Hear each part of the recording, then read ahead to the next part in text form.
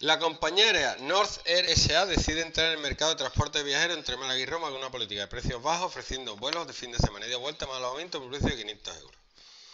Los costes fijos son de 2.250.000 euros. Y los costes varios unitarios de cada vuelo son 375 euros. Y el precio que lo vende son 500 euros. ¿Vale? Se calcula el número mínimo de pasajeros que debe transportar durante el ejercicio para no incurrir en pérdidas. Ya sabemos que la Q del punto muerto es los costes fijos partido el precio de venta menos el coste variable unitario. Solo tenéis que tener los pies, ¿no?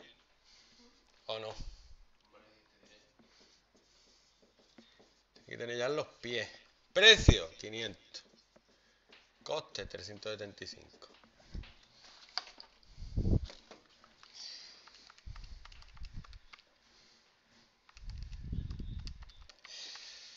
Mil vuelos tiene que tener, ¿vale? Ahora te dice, teniendo en cuenta que la capacidad máxima de operación es de 40.000 viajeros durante el ejercicio, ¿qué beneficios tendría si su ocupación de los vuelos fuera del 80%? Entonces, si tiene como máximo, pues lleva 40.000, ¿vale? Con todos los aviones llenos. Pero los aviones no van llenos enteros. La ocupación es del 80%. Entonces, para saber cuántos me van de verdad, hago el 80% de 40.000. Del pita pita de él. Del pita pita de él. 32.000. Del pita pita de él. Entonces, ¿cuál es el beneficio si tiene 32.000 vuelos? ¿Cómo era la fórmula del beneficio? Ingreso menos gasto. El beneficio era ingreso, que va a ser la cantidad de gente que ha volado por el precio, menos los costes fijos, menos los gastos variables, que son la cantidad de gente que ha volado por los costes variables unitarios. Así calculo yo el beneficio. Cantidad, 32.000 vuelos.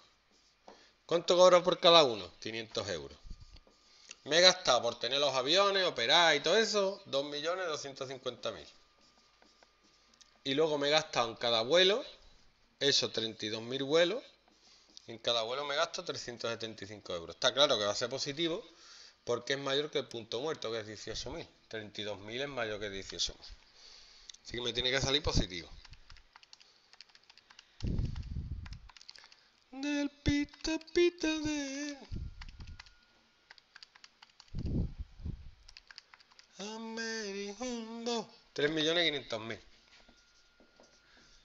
euros He ganado. Del pita pita del